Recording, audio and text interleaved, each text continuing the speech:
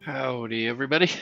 So we are back for the Rudder volume or episode number six. So that's my dad helping me. They came down um, to help out and to see some grandkids perform at some school things. So he figured he would help me out a little bit. So he is helping me with the rudder and here we're just attaching the the spar to the skins at this point um, and we'll do both sides. Um, it's just a lot of put the rivet in squeeze it move on to the next one. So while we're doing that um, I will share a joke with you. So what do you call a nervous javelin thrower? Shakespeare Oh, my girls like that one, so that's good. Okay. So there we turned it over. Basically, you just cleco every other one, put all the rivets in, squeeze them all, remove all the clecos, put all the rest of the rivets in. So this section is kind of boring, not a whole lot to it. Um, and I have my makeshift chair there. I do need to get a better chair. Um, I found that I I'm not always standing. That sometimes you have to kind of get pretty low. So I'm gonna I'm gonna look at maybe finding me a chair that I can sit in that's a little bit more comfortable than a milk crate. But a milk crate works, so it's okay.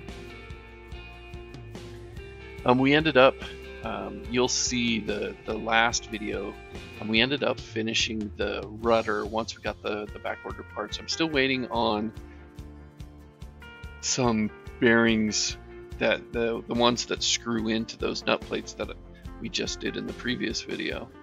Um, still waiting on those. They are apparently nowhere to be found anywhere in the country. Um, they are back ordered for from aircraft spruce, from all of the places that I've looked for, you know, them. Uh, Vans doesn't have them. Nobody seems to have them. So I don't know why, but they're not around.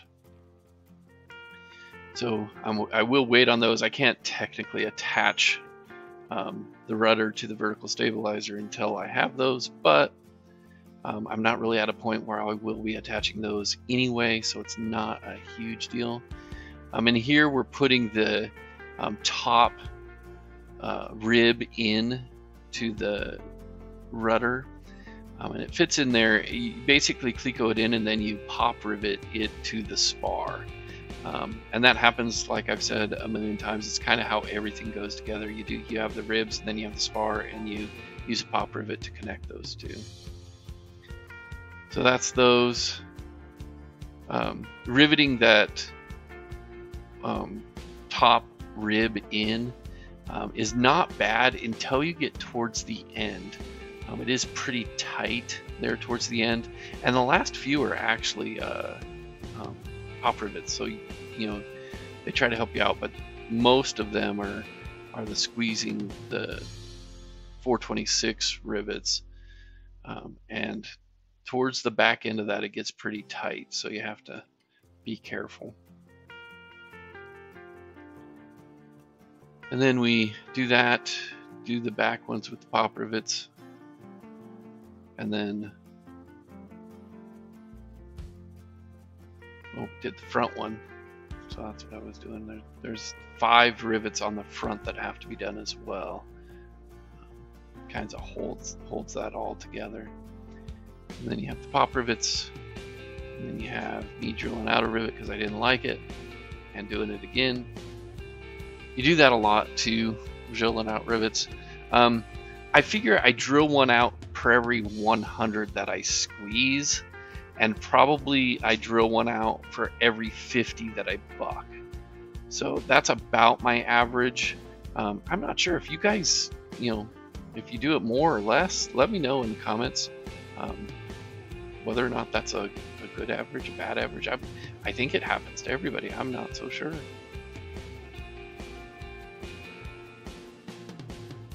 So there we are finishing that section up.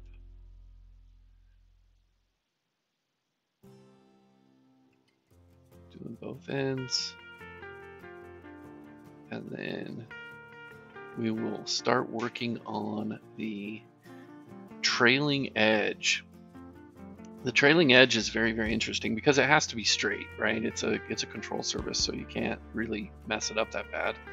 Um, and you don't see in this video, but you might see in the next video, the when it's finished, it is within a hair's breadth of being perfectly straight. I mean, there there might be maybe uh, a 16th, and that's maybe it's probably a 32nd of an inch um, where it's not completely straight. It is extremely straight. And how we did that um, was we went back and forth. So we did rivets going in one way, and then the next rivet next to it was going in the other way.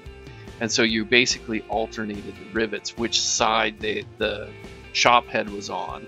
Um, and those are double flush rivets. So as you're squeezing them, it's actually making them, you know, completely flat. So there is there isn't a part sticking out there. And you see, there I go. I, I'm on the other side squeezing those. But technically, we put the rivets in. Oh, there was management. Man, we, we must have did good because she left quick. Um, so we, we would go side to side. Um, and as we would squeeze one, um, it would kind of bring it back into straight. And then as we squeeze the other side, it would move it a little bit out. But we did the next one, and it was straight again.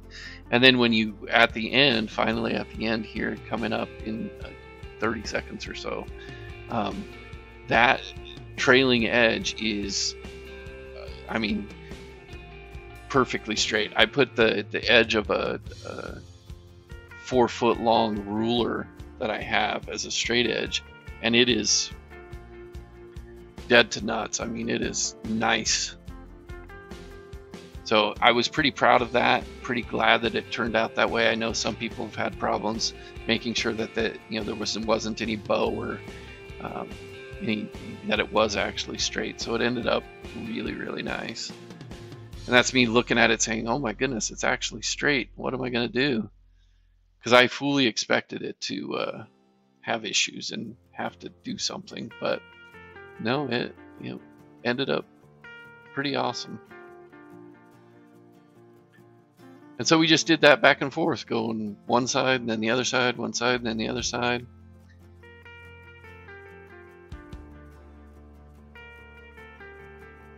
So worked out pretty good.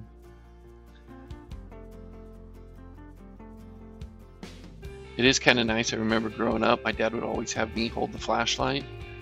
And so it's pretty cool. Now he's the one holding the flashlight.